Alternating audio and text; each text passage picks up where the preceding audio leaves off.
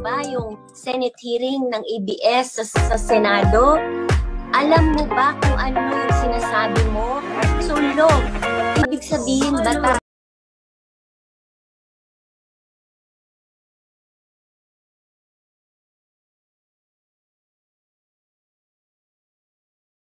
lumakas o bawal